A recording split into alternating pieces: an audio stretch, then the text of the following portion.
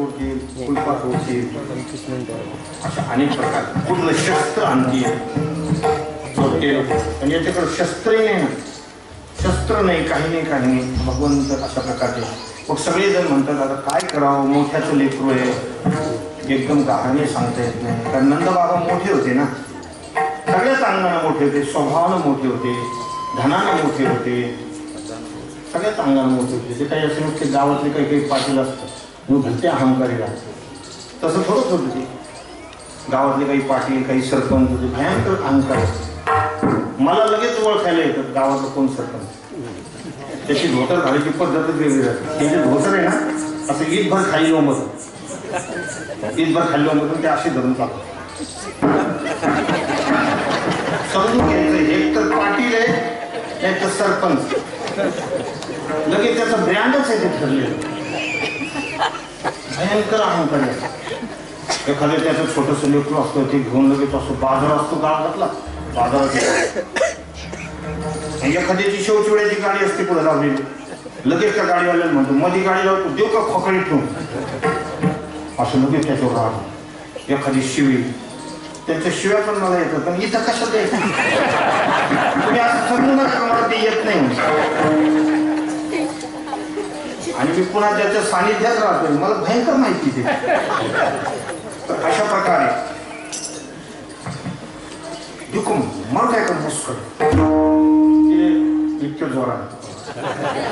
आणि मग ते काय करतात ते बाहेर बरोबर अर्धा पाऊन किलो शेवचुड्याचा पुडा बांधतो. लगेच त्या लेकराच्या हातात हे बाळू घे शेवचुड्याचा पुडा लेकराने घेतला की लगेच म्हणतो हे पाय तुला जर म्हणलं कोणी इथून हाल तर महानाव सांग. असे म्हणते अशा प्रकारे. म्हणून नंदबाबा तसे नव्हते. नंदबाबा फार सात्विक होते फार चांगले होते. सगळ्या गोकुळाला त्यांच्याविषयी आदर होता. आदरयुक्त भीती वेगळी आणि फालतू माणसाची भीती वेगळी. जे फडतूस लोक असतात गुंडगिरी करणारे असतात त्यांनाही लोक घेतात एखाद्या सकाळी सकाळी जर ते भेटले ना आपल्याकडे पाहून एखादं ते हसतात सुद्धा. जे हरे सुद्धा करतात. जे हरे. कसं काय? बरं. तरी माणूस दिवसभर धगधग करतो. याला त्याला सांगतो म्हणजे आज माणूस हसला बरं झालं नाही ना. बरं काय झालं? कमून हसलं काय नाही हो. असे डेंजर लोक असतात काही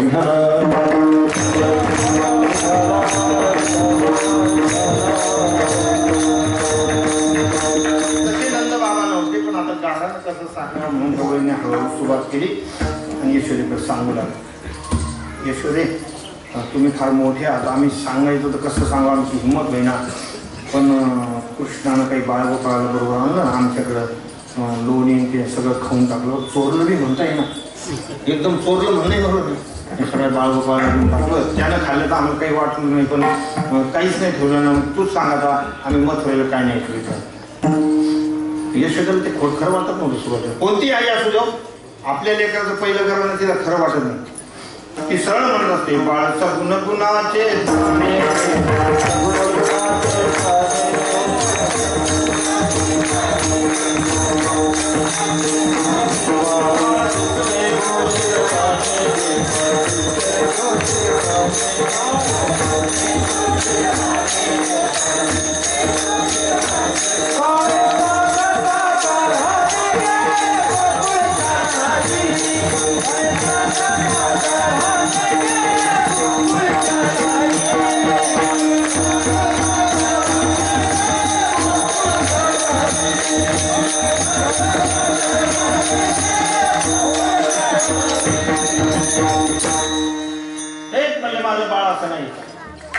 तुम्हाला पाहत नाही म्हणजे खूप दिवसांनी मला झालं ना त्याच्यामुळे तुमची जळफळ चालू काही जळत असेल लोक. असे संसारात पण आहे एखाद्याचं चांगलं चाललं ना लोक म्हणजे ते जळूर आहे.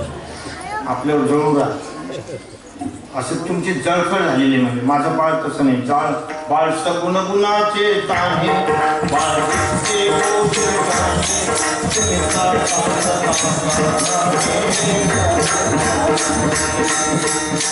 ती म्हणते श्रीरंग माझा विना या नाही दुसरा सोडा.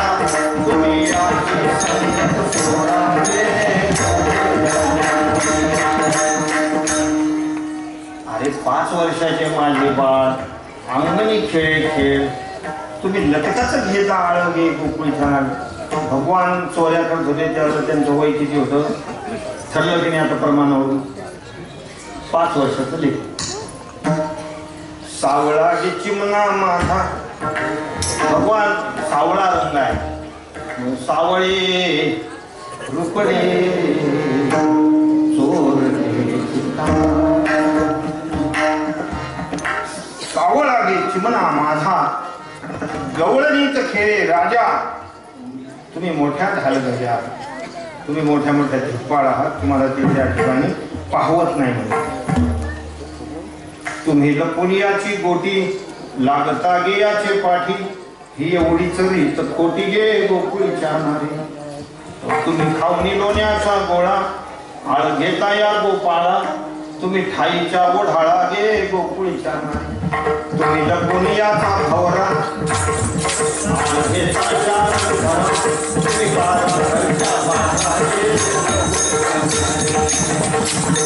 बारा घरच्या बारा जमा झाल्यामुळे मला तुम्ही कारण सांगायला लागल्या माझं लेकरू कसं नाही तर कवळून म्हणायला लागला याला कसंच पटणार?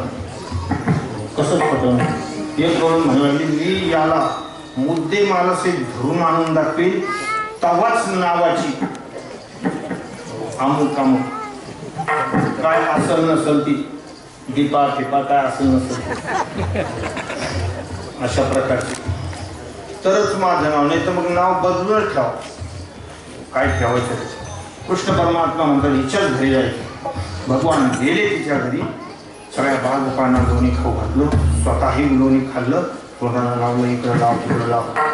तेवढ्यात ती गवळणी म्हातारी जागा झाली. आणि आली महाराज धावत धावत बाळगोपाळांना भगवंतांनी आपल्या अलौकिक शक्तीनं सगळ्यांना घराच्या बाहेर काढलं. होतं कृष्ण परमात्मा थांबला. त्याजवळ हातात गेले होता. असा गावा हात महाराज धरून घेतला. आणि कृष्ण त्यांना या म्हणू लागले की आई मला सोड ना. मी आता इथून पुढे येणार नाही सोड ना. काकूला ते येतो हरी. भगवान काकूला तिला येऊ लागले. आता सोडणार नाही. म्हणजे तुझी आईले म्हणत होती ना माझं लेकरू असं नाही म्हणून सोडणार नाही सोडणार त्यावेळेस तिची सून जागी झाली.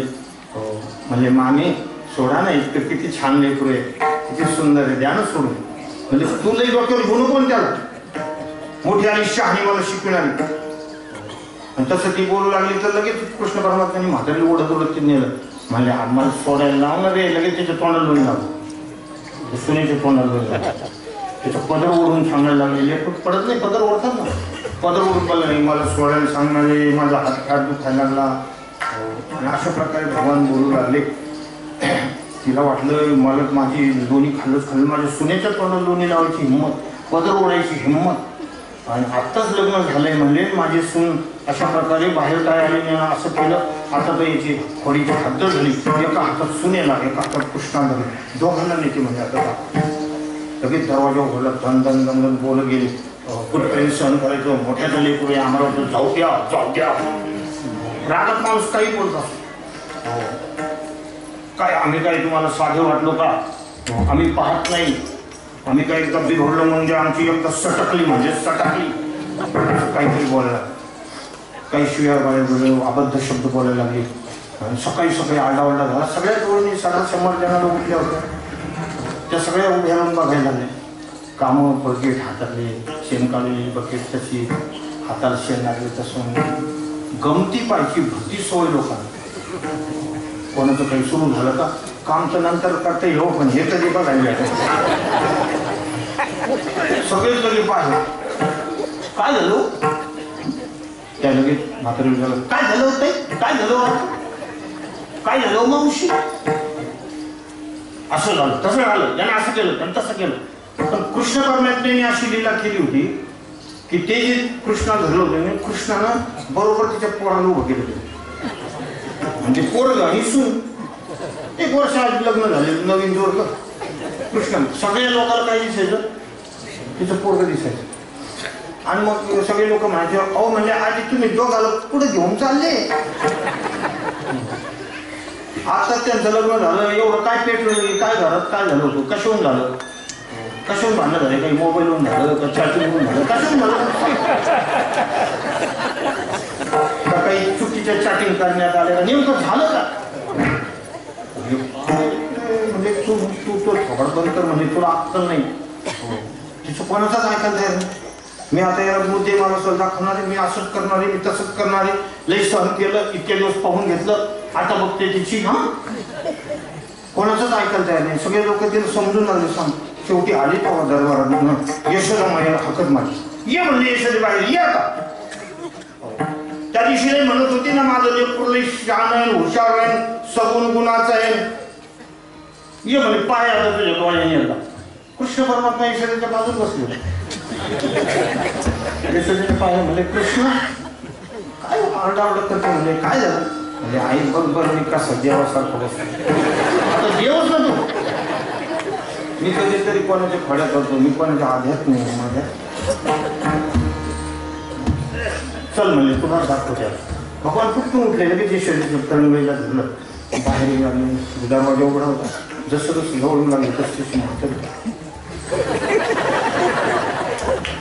काही चष्मे बिष्मे नव्हते. पण ते वयामान थोडं थोडं कमी दिसायला लागलं होतं थोडं थोडं अशी बघायला म्हणजे हा तर कृष्ण हा कृष्ण जवळ स्पष्ट झालं म्हणजे कृष्ण ते आणि मग मी पण धरलं? मग इकडे पाय लागली तर बाब्या. म्हणजे बाब्या तू कधी? म्हणजे अहो, घरापासून गोड राहील तुम्हाला. याने असं केलं आणि त्याने तसं केलं हे केलं ते केलं. उगाच उगाच मला काही काही नाव ठेवायला लागली. आजकाल नाही का मुलं मुली ते लग्न झाले झाले बोलत ते म्हातारे समोर तर म्हाताऱ्याला आमच्या काय असं नव्हतं. लईच बिघडला आता. अरे आम्हाला सहा लेकर झाले. पण कधी कोण बोलणं नाही पाहणं नाही. आता हे कसे झाले ते जिजाला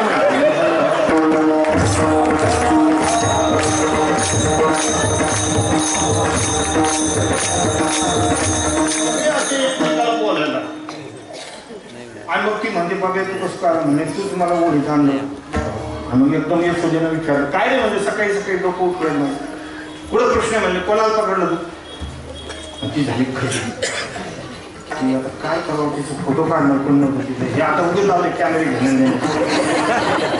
तिथं पाहिजे त्या म्हातारीचा फोटो घ्यायचा पाहिलं तरी असतं ना पण कधी तर. असं ते तिथे खजील झाली खाली मान करून बघायला लागली. हे शब्द विचारलं म्हणे सांग कशा आली? सांग कशा आली? मग ती म्हणे काही नाही. आत्ताच वर्ष झालं झालं नवीन जोडा आहे. म्हणलं कसा आहे? दाखव. अशा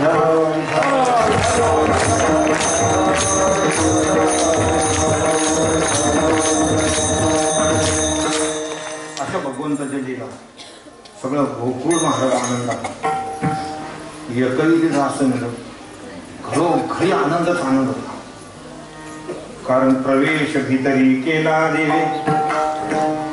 चिंता ते पळाली गोकुळा बाहेरी प्रवेश भीतरी केला देवे भगवान आले. तिथे आनंदी आनंद वातावरण होतं. भगवान अनेक अशा प्रकारच्या लीला करतायत. आहेत काल्याच्या कीर्तनामध्ये खूप काही लीला भगवंताच्या असतात कृष्ण लीला ऐकण्याकरता खूप मनुष्य प्रसन्न होतात भगवान कधी अशा त्या लीला अशा अनेक लीला भगवान कृष्ण परमात्मा करतायत. आणि मग ते गाठाने सुद्धा यशोदेमाईला खरे वाटू लागले. म्हणून यशोदेने सांगितलं कृष्णा तुझ्या खोड्या आता फार झाल्या बघा. तू आता काही खोड्या टाकायचा काही अंदाज दिसत नाही. काय गुन्हे का करी तू शिचवली किती सांगू तुझं नाही कशी हरी. परे परता तू पळून जाशी दुरी अनावर या लौकिका बाहेर ओ माया करुणा ती करीते बहुत.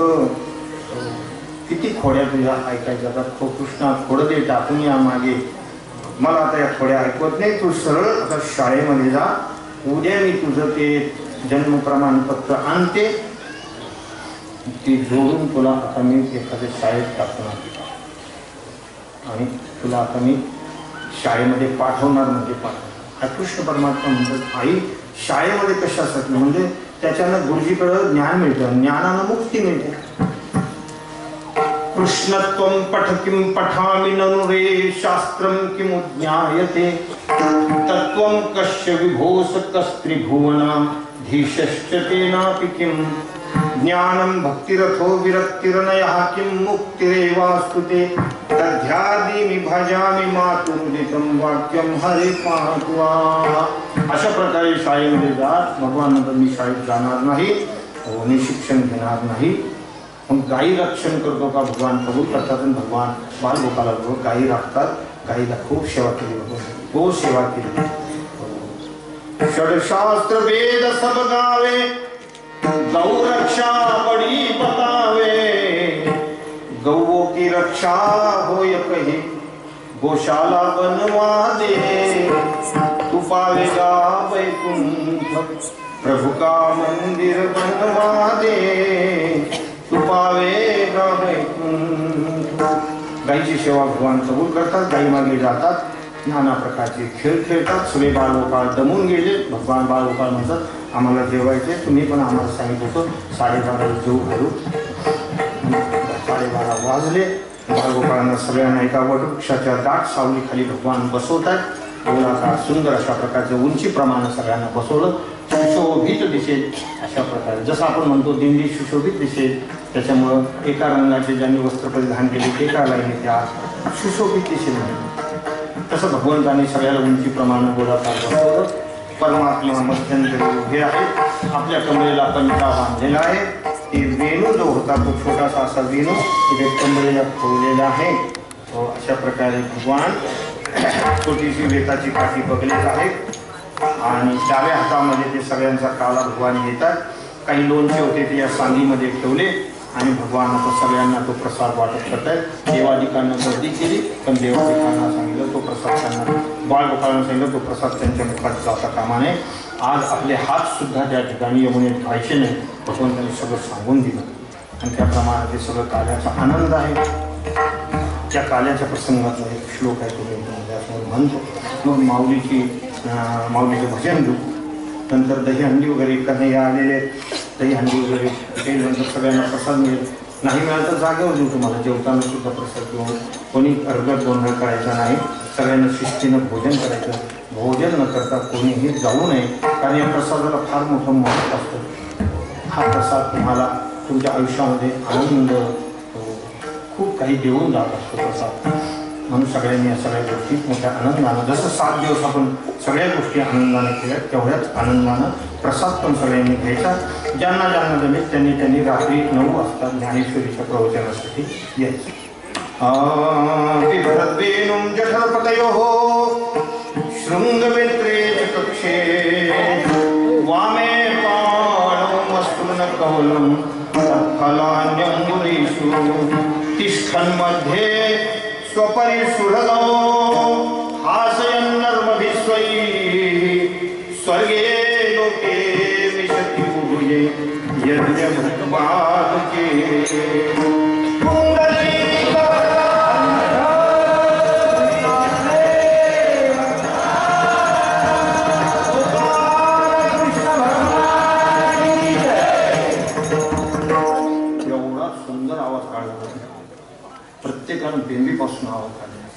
आणि खरी हीच पद्धत. माझ्या विठोबाचे नाम आत्ता असे गर्जना रामकृष्ण टाहो तुमची गर्जना ऐकून मला थोडासा मोह निर्माण झाला वन्स मोर. मोह आहे मला. ते आवडत नाही त्याला काय करणार. कुंडली!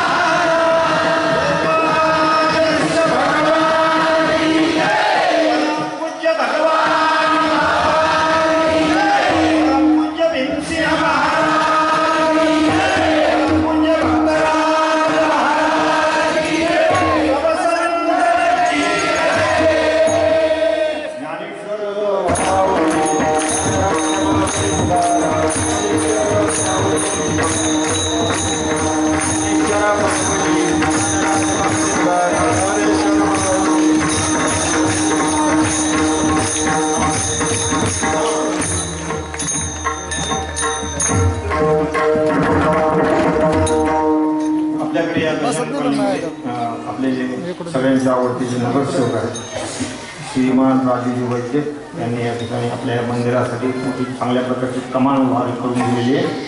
तर त्यांचं इथे पुष्पहार घालून स्वागत करतो.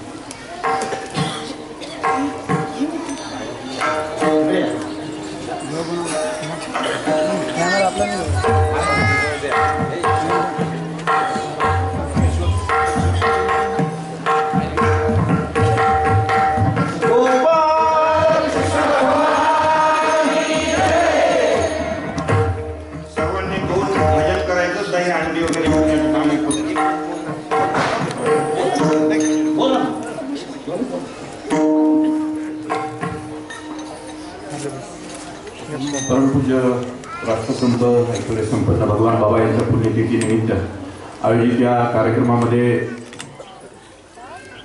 काही राजकीय भाषण करायला उभा नाही.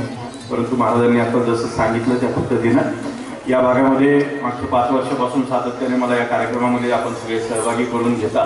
त्यामुळे महाराजांचा आणि सगळ्या तुमच्या टीमचा मनापासून आभार व्यक्त करण्यासाठी या ठिकाणी उभा आहे. या भागामध्ये काम करत असताना या भागातल्या अनेक समस्या होत्या त्या आपण सोडवल्या आहेत. आपल्या सगळ्याला ज्ञात आहे की या भागामध्ये रस्ते असतील पाणी असेल ड्रेनेज असेल लाइट असेल ही सगळी कामं मार्गी लागल्यानंतर आता आपण भगवान बाबा मंदिरासाठी एक स्वागत कमान उभा करायचं ठरवलं आहे. या स्वागत कमानला मला वाटतं आपल्यापैकी काही लोकांनी स्वामी समर्थ मंदिराची कमान पाहिली असेल. त्याच पद्धतीची कमान इथे भगवान बाबा मंदिरासाठी आपण करतो आहोत आणि त्याच्यासाठी साधारणतः सोळा लक्ष रुपये आपण खर्च करतो आहोत. ही कमान पुढच्या एक आठवड्याभरात कामाला सुरुवात होईल. आणि येत्या महिन्यामध्ये ते पूर्ण होईल. एवढंच फक्त आपल्याला एक चांगली बातमी देण्यासाठी मी या ठिकाणी आपल्यामध्ये आलो. आपला वेळ व्यत्यय आणला त्याबद्दल महाराज आणि सगळ्या टीमनी मला माफ करावं. धन्यवाद. जय हिंद जय महाराज